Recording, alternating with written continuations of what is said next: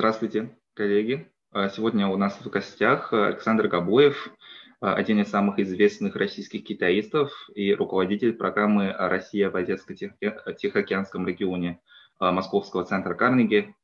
Раньше он работал в «Коммерсанте» в качестве заместителя редактора и до этого в качестве корреспондента, отвечающего за освещение политики России в Азии и странах СНГ, а, он также читал курсы по энергетической политике и политической культуре Китая в МГУ и является э, экспертом по всем этим и другим вопросам, связанным с Китаем и э, отношениями между Китаем и Россией. Э, его статьи регулярно публикуются на сайте Карнеги. Очень рекомендую всем почитать или послушать его подкасты, интервью. Я знаю, что их очень много, и или подписаться на newsletter, новый выпуск которого рассылают каждые две недели. А, там Александр Ковоев и его коллеги в Карнике э, пишут о самых главных э, событиях, которые происходят в Китае, а также между Китаем и Россией. Э, и теперь я отдаю слово нашему эксперту. Спасибо вам. Спасибо большое, Янган. Очень приятно быть частью этой замечательной программы. Очень приятно с вами познакомиться. Жалко, что мы не можем это делать вместе из-за понятных всем э, ограничений физических. Я надеюсь, что когда-нибудь такая возможность э, появится. Вот, так что давайте начнем нашу работу. У нас с вами будет э, две лекции. В первой я постараюсь побольше поговорить о политике и идеологии и вопросах безопасности, наверное. А во второй мы с вами больше погрузимся в вопросы экономики в том числе, да, и постараемся посмотреть, что, что есть там. Значит, э, мы сегодня поговорим о фундаментальных драйверах, которые сближают Россию и Китай, и о некоторых э, факторах, которые бы ограничивали это сближение.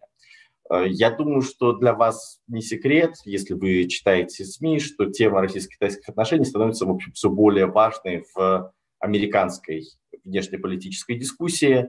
Э, понятно, что эти темы очень долгое время существовали отдельно. Российская тема не была столь значимой до 2016 года и до российского вмешательства в американские выборы, поддержки Дональда Трампа, кражи данных э, Национального демократического совета, вы все это прекрасно знаете, и многочисленных санкций. То есть если до 2016 года тема была важной, но все-таки относительно периферийной, потому что есть Крым, есть война на Донбассе, есть Сирия, но это вещи, которые интересуют э, политический класс, занимающийся вопросами внешней политики, то, конечно же, вмешательство именно в американскую демократическую систему стало э, темой общенационального разговора. Китай в то же время является общенациональной темой в США и все более и более и более важной с каждым годом по мере того, как э, из просто крупной державы с немножко другой системой Китай превращается в настоящего конкурента США, да, если послушать все то, что говорит об этом президент Байден, что говорят ключевые чиновники его администрации, э, очевидно, что мир вступает в, систем, в период э, системного противостояние двух крупнейших сверхдержав. Будет ли это похоже на холодную войну или нет, мы можем с вами отдельно поговорить. И тем не менее, тема России и тема Китая для западного дискурса и для западной дискуссии очень важна, но долгое время эти темы существовали где-то отдельно. Есть российская дискуссия, есть китайская дискуссия.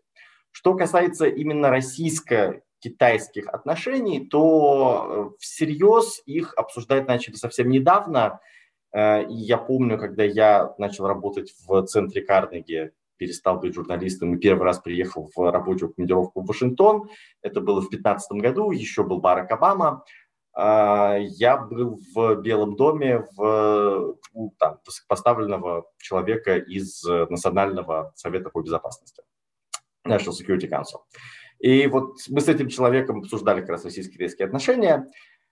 Он говорит, ну, эта тема на самом деле нас не очень беспокоит, потому что если Россия, во-первых, там ничего нет, there is no there there, а, а во-вторых, если Россия хочет стать рабом Китая, ну и пожалуйста, какая Америке в этом печаль, корысть и так далее. Нас это совершенно не касается.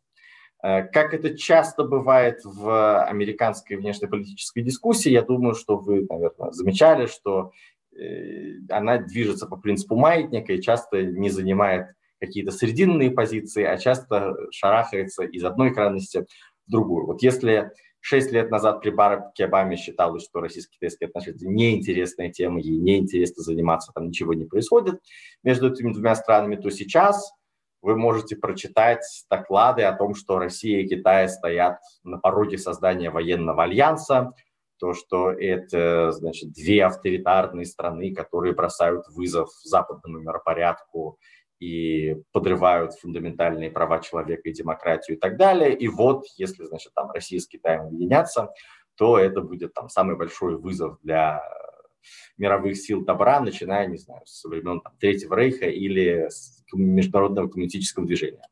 Вот где же здесь истина? Очевидно, что то, что Россия и Китай сближаются, действительно очень важное изменение глобального расклада сил, но насколько они сближаются, действительно они собираются формировать военный союз, действительно ли они собираются сформировать антидемократический союз, э, или же э, у них есть довольно фундаментальные различия, которые не позволят им сблизиться.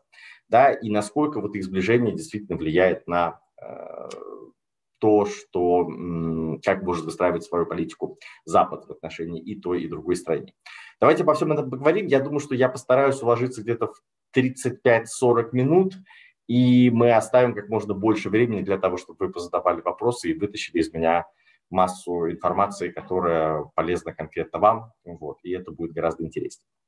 Значит, если мы посмотрим на отношения России и Китая с высоты птичьего полета, я бы предложил посмотреть на три важнейших фактора, которые Россию и Китай сближают и будут, скорее всего, сближать еще довольно продолжительное время. Первый фактор – это география и наличие протяженной границы между ними, да, больше 4200 километров. Долгое время, как вы помните из истории, как раз эта граница была источником трений, проблем и такой вот тикающей минной замедленного действия, потому что Советский Союз и Китай имели неурегулированную границу, э, границу, восходящую частично к неравноправным договорам еще имперских времен, то есть царской России и императорского Китая династии Цин, где э, императорская Россия отторгла куски территории, которые значит, маньчжурская династия Цин считала своей. Э, так это или иначе, это отдельный спорный вопрос. Очевидно, что э, китайцы жили или имели серьезное культурное влияние на многих территориях, которые сейчас входят в состав Российской Федерации. Достаточно, если кто-то из вас когда-нибудь поедет во Владивосток, э, или кто-то уже был, возможно, вы поедете в, пойдете в Краеведческий музей, музей истории Владивостока. Он невероятно любопытный. И на первом же этаже вы увидите самые древние памятники Приморской земли, и эти памятники стеллы, значит, надгробные на китайском языке, которые местная значит, знать э, ставила в качестве надгробий, да, и там есть некоторые э, стеллы, которые э, землепроходцы китайские ставили, путешествуя значит, в, по реке Амур. Так или иначе, долгое время вот этот вот спор по поводу границы отравлял двусторонние отношения.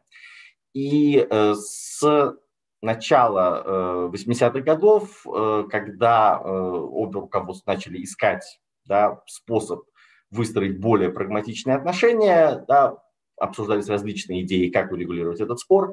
После того, как в Советском Союзе пришел к власти Михаил Горбачев, советское руководство приняло курс на нормализацию отношений с Китаем. В, советском, да, в советское время Вершиной этого курса стал визит Горбачева в Китай в 1989 году. Да, Горбачев был на площади Тяньаньмэнь, застал кусочек да, печальных событий там.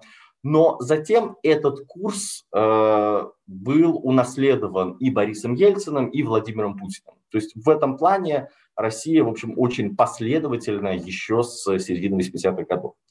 И идея э, российского руководства была, в общем-то, очень проста.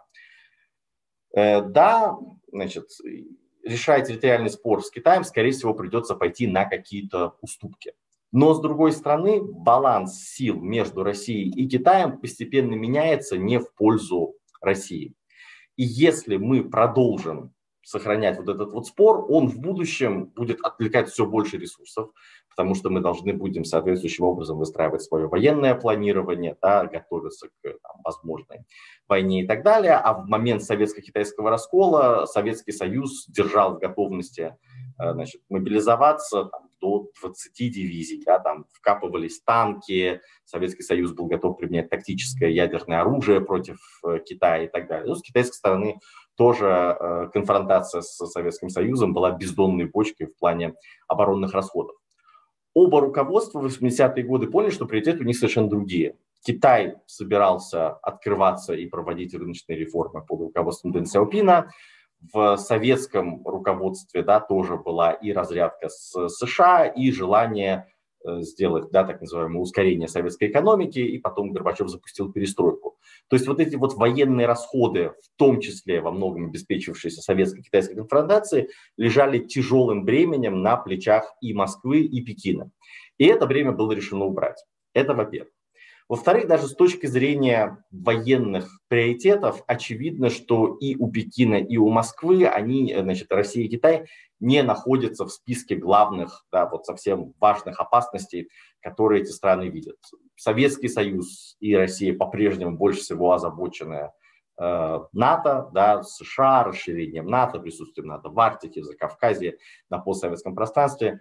Китай больше всего э, обеспокоен полным воссоединением страны, да, то есть это тайваньский вопрос, и установлением суверенитета по периферии своих морских границ в акватории Южно-Китайского моря, острова Синкаку, Дяо, Юйдао и так далее. То есть, как только было решено, что мы должны решить этот вопрос, советские и китайские дипломаты принялись за его решение. В 90-е скелет вот этого консенсуса был э, согласован. 16 июля 2001 года страны подписали договор о дружбе и добрососедстве. Да, мы отмечали его 20-летие совсем недавно, всего две недели назад. И затем уже в 2004 по 2006 год проходила окончательная делимитация границы.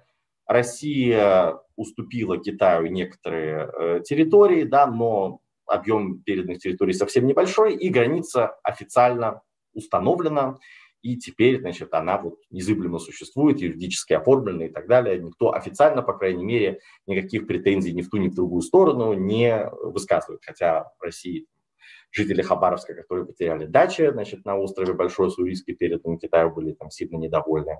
В Китае до сих пор можно услышать голоса о том, что вот значит, Россия передала нам только часть территории, которую они должны вернуть, а в будущем, конечно, Россия должна вернуть гораздо больше, там, включая Читу, Хабаровск, Владивосток и так далее. Но это мнения неофициальные, скорее маргинальные и существующие в обществах подспудно.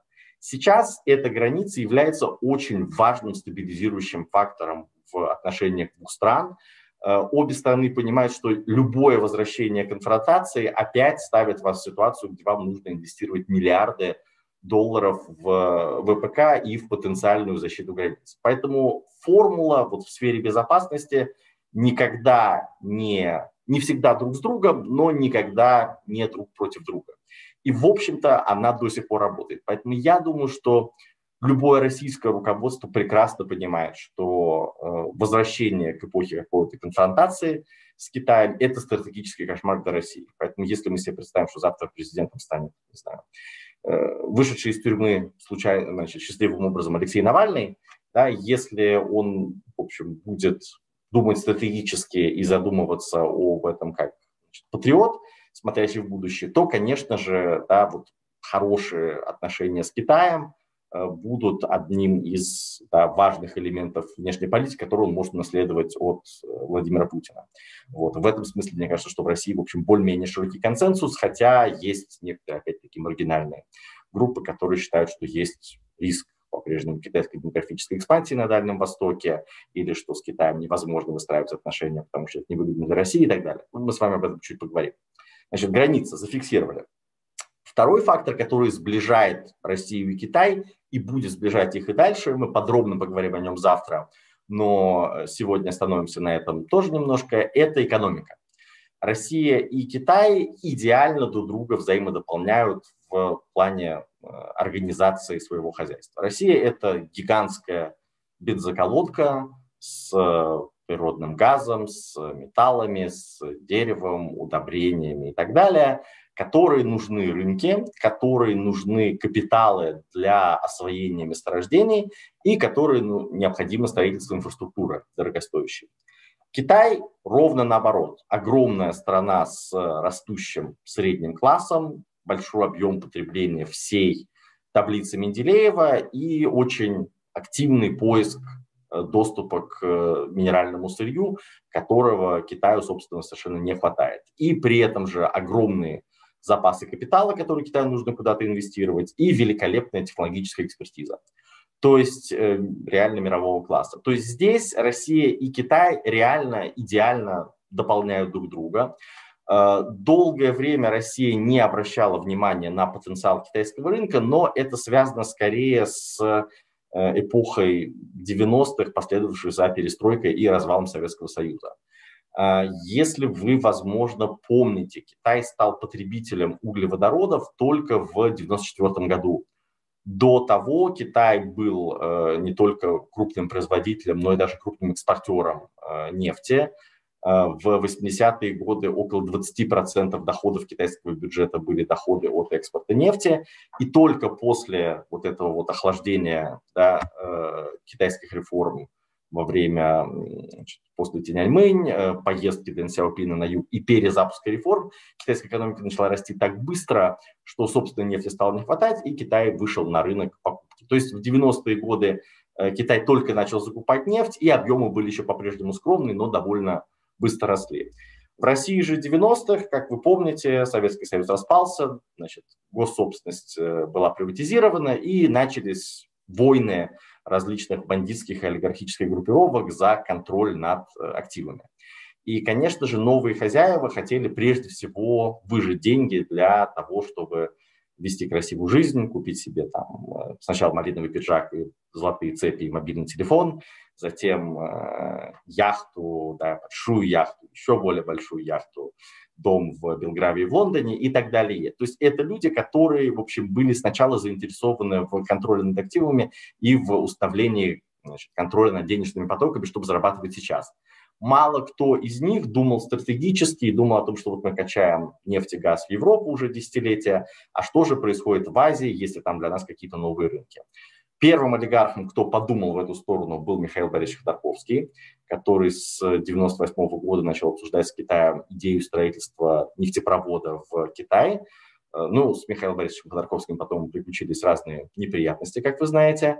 Э, и вслед за тем, как э, значительная часть активов ЮКОСа досталась Роснефти, Точно так же и идея строительства нефтепровода из Сибири в Китай досталась э, значит, руководству Роснефти и в 2009 году начала реализовываться, то есть Россия начала строить э, первый нефтепровод. Э, то же самое с газопроводом. Планы эти были еще в 90-е годы, реализованы они были только в 2014 году после аннексии Крыма и визита Путина в Шанхай.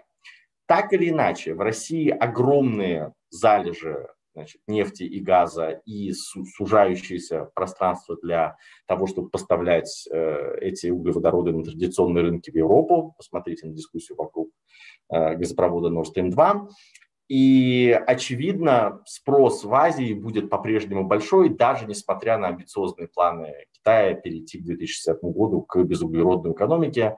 Э, газ будет являться переходным топливом от угля к возобновляемой энергетики, поэтому в ближайшие 10 лет Китай вдвое увеличит свои мощности значит, электроэнергии на газу, и у вас очень большой список российских товаров, которые Китаю нужны.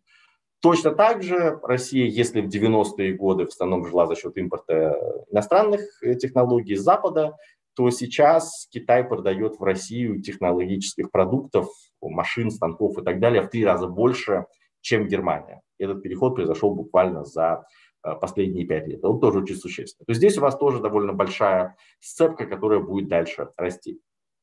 Последний драйвер, который э, очень важен и который, скорее всего, будет с нами долгое время, это внутриполитическое устройство и в той, и в другой стране.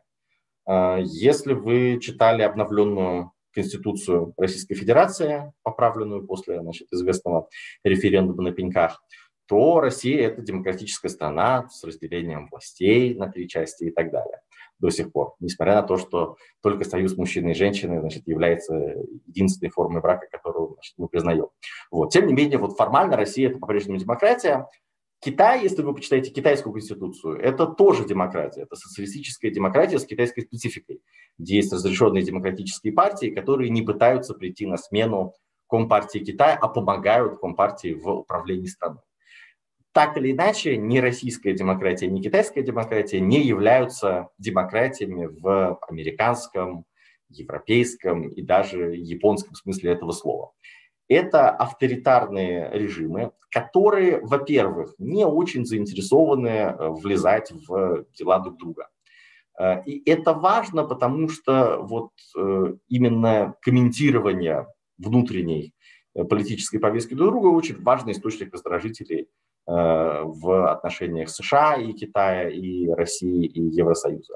То есть представьте себе, в любом случае, допустим, даже самые прагматичные европейские политики, как уходящая канцлер Ангела Меркель, приезжая в Сочи обсудить с Путиным газ, Украину или что-то еще, должна быть готова к тому, что ее какой-нибудь журналист из Der Spiegel спросит, а вот говорили ли вы с Владимиром Путиным об отравлении Алексея Навального, и что вы ему сказали и так далее. И она должна будет что-то такое сказать, да, или там, не знаю, правда ли, что в Чечне убивают геев, и говорили ли вы с значит, Владимиром Путиным о неприемлемом поведении Рамзана Кадырова. То есть на всех уровнях, включая какие-то встречи дипломатов, аккредитованных в Москве с коллегами из МИДа. Эти темы постоянно поднимаются, чем российских коллег ужасно бесит. Российские коллеги сразу начинают заниматься вот таким вот путинским uh, whataboutism, да, там рассказывать про BLM и прочие проблемы в Европе.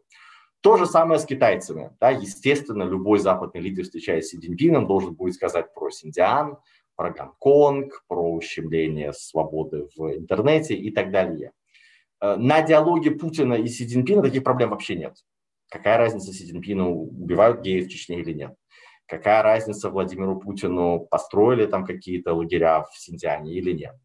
Э, да, а по многим темам типа движения значит, демократического в Гонконге у Путина и Си, в общем, будет похожая э, оптика. Путин будет говорить, что я знаю, я сам это проходил, это вот все инспирировано ЦРУ. Вот, мы можем обменяться опытом, как с таким бороться. Это во-первых. Во-вторых, обе страны имеют общую повестку в глобальных форумах управления, таких как, не знаю, э, ООН, да, являясь постоянными членами Совбеза с правом вето и будучи авторитарными державами, у них очень схожие взгляды на, например, вопрос суверенитета в интернете. Да, вот принцип доступности данных из любой точки мира и свободы в сети, либо же принцип киберграниц – и полного суверенитета страны и возможности регулировать свое интернет-пространство так, как хочется определенному государству. Здесь Россия и Китай постоянно оказываются в одной лодке и постоянно участвуют вот в этой вот международной дискуссии по написанию правил, исходя из своих интересов, которые в данном случае совпадают.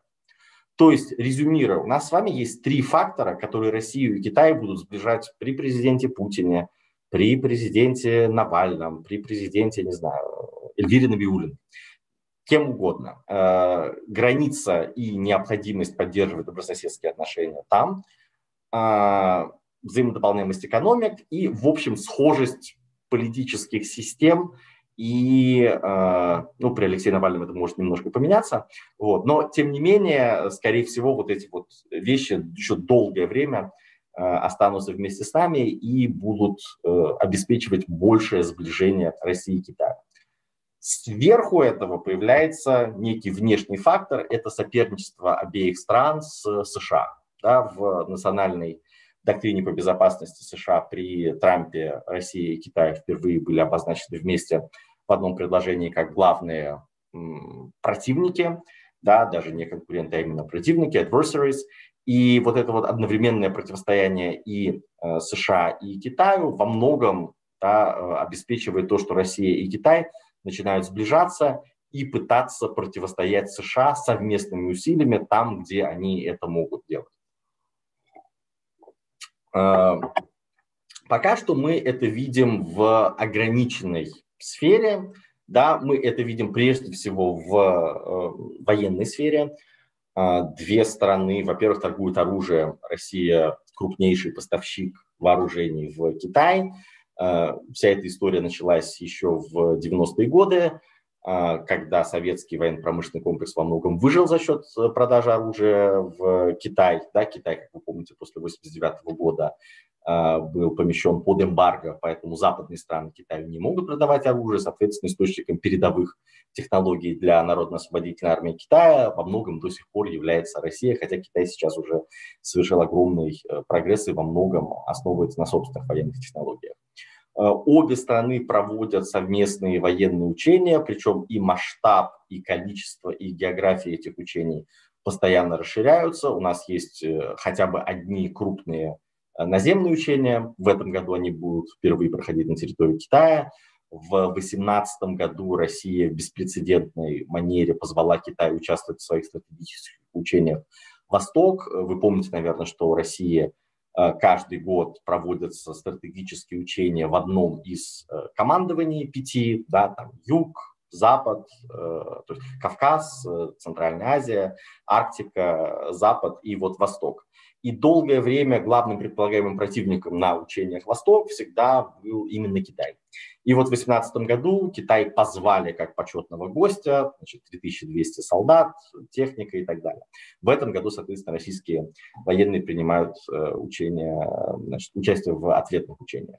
Uh, у нас появились uh, военно-морские учения, которые тоже проходят каждый год, причем проходят не только в акватории двух стран, но были совместные маневры в Восточном Средиземноморье, были совместные маневры на Балтике и в Северном море, и здесь география взаимодействия тоже расширяется.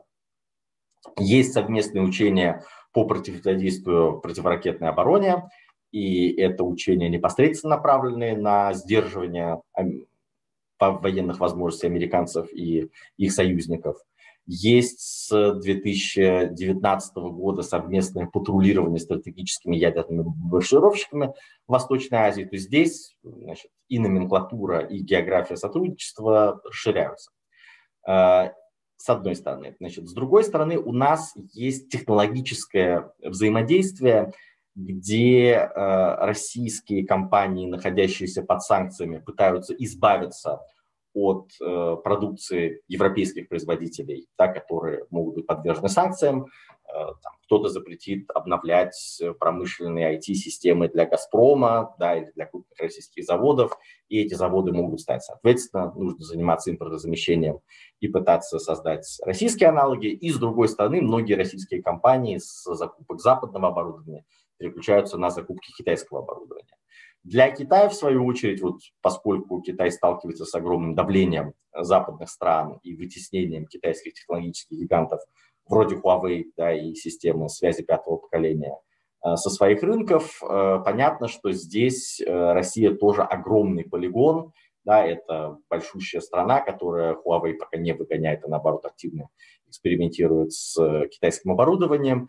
И э, это не только рынок, рынок, в общем, ну, относительно большой, но не настолько большой. Это прежде всего демонстрационный кейс для того, чтобы показывать другим развивающимся странам, которые думают, пускать ли Huawei на свой рынок, да, можно сказать, смотрите, русские, вы же знаете, что они все помешанные на безопасности, они дико гордая страна, вот, и тем не менее, вот даже русские не видят никаких проблем в том, чтобы развивать свою систему 5G на основе технологий Huawei. Почему такие проблемы должны возникать у вас там, в Бразилии или в ЮАР или где-то еще?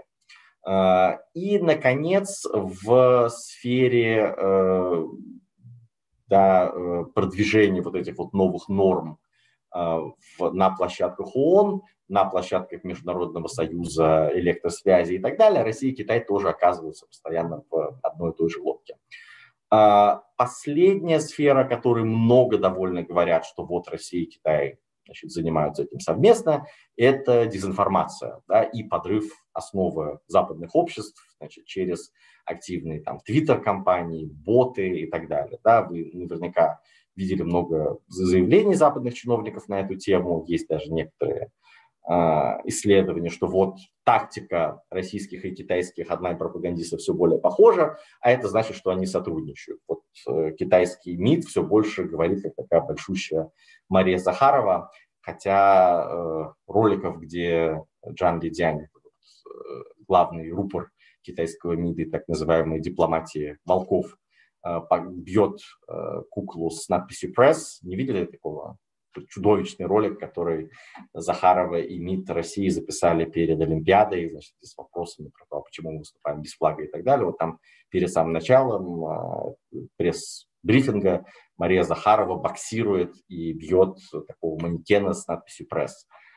Выглядит чудовищно. Вот э, примерно то же самое теперь значит, занимаются китайские дипломаты. Вот. Но, допустим, мы поисследовали эту тему в Карнеге, у нас совсем недавно вышла работа с моим коллегой Леонидом Ковачевым, и мы приходим к выводу, что здесь э, не взаимодействие и не сотрудничество, а скорее изучение опыта друг друга, изучение опыта США, но не прямая, а, не прямая работа вместе друг с другом. Вот.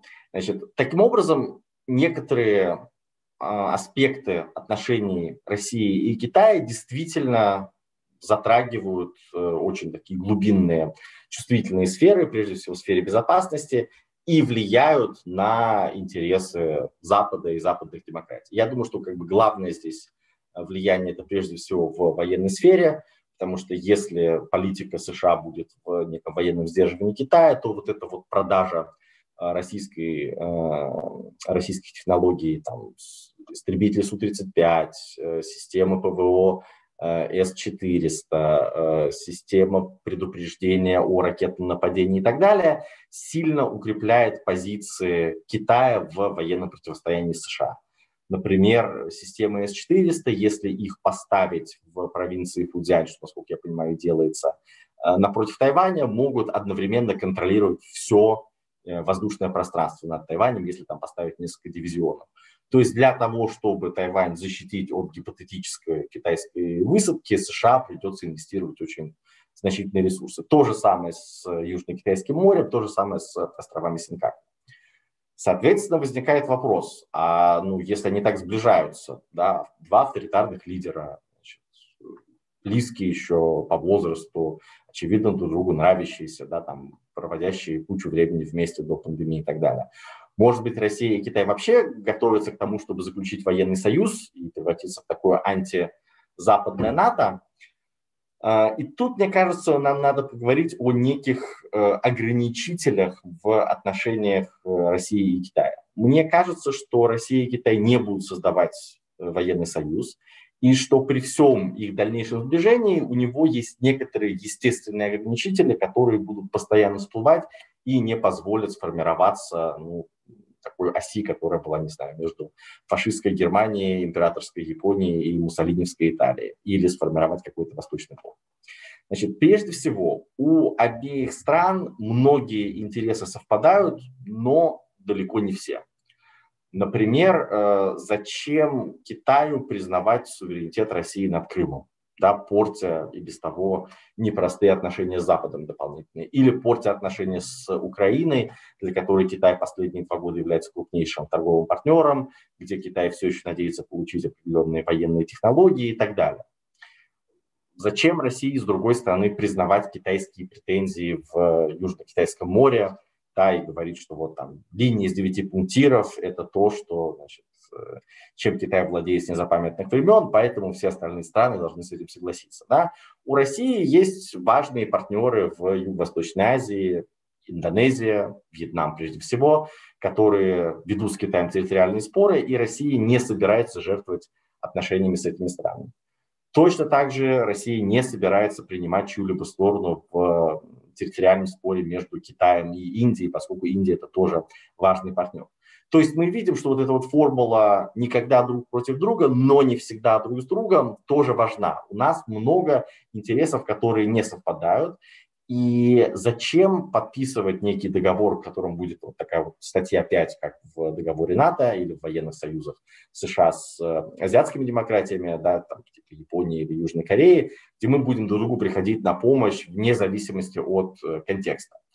А, поэтому мне кажется, что здесь вот к военному союзу дело не придет. А, во-вторых, обе страны, и это очень важно, это страны с самосознанием великих держав – которые э, молятся на некую стратегическую автономию, да, стратегическую самостоятельность.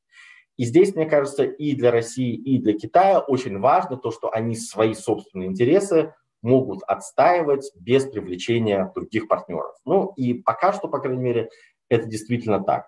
Зачем России признание Крыма со стороны кого-либо, когда Россия сама, в общем, может обеспечивать там, ключам э, электроэнергии, безопасностью, даже в какой-то степени водой и прочее. Да? Россия в какой-то момент пыталась купить признание Абхазии и Южной Осетии, потом поняла, какая разница, там, сколько их стран признают, и зачем нам тратить миллионы для того, чтобы там, подкупить Никарагуа или Венесуэлу, чтобы они признавали Абхазию и Южную Осетию независимым государством. Достаточно того, что мы их признали, все, это наши сателлиты, военные базы и так далее. Точно так же Китаю, в общем-то, не нужна поддержка России для того, чтобы продолжать насыпать искусственные острова, Э, да, в Южно-Китайском море и размещать там военную инфраструктуру. Поддержка России желательно, но не обязательно при там, проведении той этнической политики, которую э, Си Цзиньпин сейчас проводит в Синьцзяне и так далее. Значит, э, это еще один аспект. Другой аспект, что у нас, в отличие от России и стран Западной Европы, вроде бы как нет вот такой вот периферии да, и стран между Россией и Китаем, которые были бы источником очень жесткой конкуренции, ну, как, например, Украина, Беларусь и вообще весь Восток, э, то есть весь Запад постсоветского пространства, да, является ареной конкуренции между Россией и странами НАТО и Евросоюзом. А, для России, понятное дело, что в силу там, исторических причин, многие из вас, наверное, видели статью Владимира Владимировича Путина про то, что мы с украинцами якобы один народ, э, с которой я совершенно не согласен, но тем не менее. Вот эта вещь, которую Путин, по крайней мере, постулирует. Сергей Шойгу обязал всех российских военных изучать эту статью в обязательном порядке в армии. То есть это некая демонстрация того, что вот у России есть исключительные и особенные совершенно интересы в Украине и Беларуси, и Россия значит, от этих красных линий не будет уступать. Плюс российские военные очень беспокоены, что вот при гипотетическом сценарии, да, военные, как вы знаете, люди, которые смотрят даже в сценарии высадки марсиан, да, у них должен быть на это какой-то оперативно-тактический план, как они будут действовать.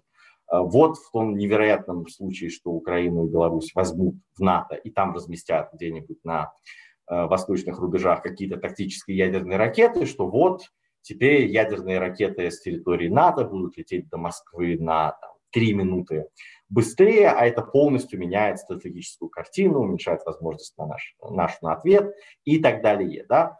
Вот подобных стран вроде бы как между Россией и Китаем не существует. Но есть регион Центральной Азии, в котором конкуренция за влияние, тем не менее, идет. И совпадающих интересов у России и Китая в Центральной Азии очень много, но есть и э, интересы именно влияния и э, позиционирования себя как доминирующей внешней силы. И вот здесь у России и Китая, мы можем отдельно об этом э, поговорить, тоже есть э, некая напряженность, хотя пока что э, обе стороны блестяще справляются с тем, чтобы найти баланс э, интересов между собой. Э, наконец, есть история про вот, некие разведывательные да, вещи, то есть коммерческая охота китайских, то есть охота китайских спецслужб за российскими коммерческими секретами, за секретами в сфере ВПК и за э, российскими секретами в сфере обороны. Ну, понятно, что великие державы ведут про, друг против друга разведdeятельность, это ни для кого не секрет. Вы, наверное, помните, что США прослушивали э, телефон Ангелы Меркель, и не факт, что не прослушивают до сих пор вот, и за это особо не извинились. То есть это нормально даже между столь близкими союзниками, как США и Германия. Естественно, это абсолютно нормально между такими партнерами, как Россия и Китай. И тем не менее, последние 15 лет Россия и Китай, даже ведя разведdeятельность друг против друга, старались об этом публично не говорить, чтобы не усиливать антикитайские настроения в России и антироссийские настроения в Китае. То есть публично о случаях шпионажа мы ничего до недавнего времени не знали. Но сейчас эта практика начала меняться. В прошлом году в России есть, по крайней мере, два известных случая, где люди обвиняются в шпионаже, и стало известно, что они шпионы в пользу Китая. Но в одном случае там рассказали об этом родственники журналистов, в другом случае рассказали адвокаты из вот команды 29, которая там защищает Ивана Сафронова и вот ученого Митько из э, Санкт-Петербурга. А в этом году у нас есть первый кейс, где был осужден российский гражданин в Забайкалье, который шпионил на Китай. И ФСБ, российская контрразведка, через СМИ, через агентство ТАСС сообщила, что вот человек был осужден за шпионаж в пользу Китая. То есть впервые за 15 лет у нас российское контрразведывательное сообщество посылает публичный сигнал, что вот Китай ведет некую разведдеятельность против России, и мы все это видим, и мы не очень довольны. То есть здесь, очевидно, есть некоторые трения и недоверие между э, спецслужбами двух стран, которые по-прежнему будут сохраняться и по-прежнему ограничивать потенциал для сближения. Наконец, последний фактор, и я на этом замолчу, и мы сможем поговорить уже в режиме Q&A. Э, если мы представим себе, что нынешние тенденции сохраняются, и вот в Китае продолжает расти темпами, ну, в этом году 9% после ковида, да, но дальше там 5%, 4% и так далее. Э, а российская экономика вырастет в этом году там, на 4%, а дальше вернется к темпу полтора-два да, из-за отсутствия структурных реформ. Асимметрия экономическая и технологическая между ними будет нарастать. Причем ну, Китай уже размером с большую, большой Apple монитор, а Россия это такой вот маленький айфончик. И вот э, Apple монитор растет темпами 5% в год, а айфончик растет процентами 1% в год. Да, разница потенциалов между ними будет нарастать. Соответственно, у Китая появится все более сильная переговорная позиция на любой дискуссии с российскими коллегами, будь то коммерческие контракты, будь то локализация технологий и так далее. И, соответственно, если сейчас э, отношения можно назвать win-win, да, то есть и выгоды э, взаимные, и я бы сказал, что вот пропорция, где выгоды разделяются, примерно 50 на 50. Да, в какие-то контракты более выгодные условия для китайской стороны, в каких-то контрактах более выгодные для российской стороны, но где-то мы пока что вот в балансе 50 по 50 сходимся. То дальше, учитывая да, разрыв потенциалов. У китайской стороны будет все больше естественного желания воспользоваться более сильной переговорной позицией и вот этот leverage использовать для того, чтобы получить сделку 30 копеек русским, 70 нам, 20 копеек русских, 80 нам. Это по коммерческим контактам. И примеры такие уже есть в нефтегазовой сфере. А еще более опасно, если китайские коллеги начнут использовать экономические рычаги для принуждения России делать что-то в политической сфере, чего Россия бы не хотела делать. Как это там делает сама Россия в отношении своих соседей, как это делают США в отношении других стран, и как это все более активно делает сам Китай. Посмотрите на то, что там происходит в отношениях между Китаем и Австралией. Да, Австралия 60% своего экспорта направляет в Китай, и Китай сейчас это активно использует для того, чтобы выкрутить Австралии руки по ряду политических вопросов. Вот что помешает через 15 лет сказать Китаю, вы знаете, товарищ Путин или кто там будет в Кремле в этот момент, вот, э, а там, кстати, есть в Южно-Китайском море некие спорные острова, а вы зачем-то не занимаете однозначную позицию. Вот почему вы так делаете? Ну-ка быстро выпускайте там Марию Захарову или кого-то еще, и пусть скажут, что Россия Китай поддерживает. А если вы откажетесь это делать, то смотрите, вот э, у «Газпрома» 70% продаж там, в 2035 году – это Китай. А вы же понимаете, что мы можем сократить вот случайно, ну мало ли в трубе какие-то возникнут проблемы, или ваш газ не будет удовлетворять нашим техническим регламентам, и мы будем закупать больше газа, например, у Катара. Поэтому давайте-ка, ребята, быстренько значит, соглашайтесь на то, чтобы признавать всю Южно-Китайское море китайской территории исходно. Или а зачем вы продаете оружие Индии? Вы же не знаете, вы же разве не знаете, что Индия не друг Китая? И ваш не друг, поэтому прекращайте вы это дело, а иначе мы вам там перестанем газ покупать или не дадим кредит и так далее. То есть это вещи гипотетические, но они очень реальные лет через 15-20. И это то, о чем в России дискуссия только начинается тихонечко, и Карнеги одна из немногих публичных площадок, где она происходит, но я вижу, что даже вот такие ну, близкие к власти экспертные организации, как Совет по внешней оборонной политике, даже журнал «Россия в э, глобальной политике», начинают публиковать материалы вот с тем вопросом, типа, хорошо, а что будет с этими отношениями через 15-20 лет, и как нам удержать баланс в отношениях с Китаем – Э, получая максимальные выгоды и минимизируя риски. Я думаю, что для российской внешней политики э, ближайших там, 15, 20 и даже больше лет, то есть до середины 21 века точно, это будет одним из ключевых и все более насущных вопросов. Спасибо большое. На этом я давайте замолчу и давайте уже спрашивайте все, что угодно.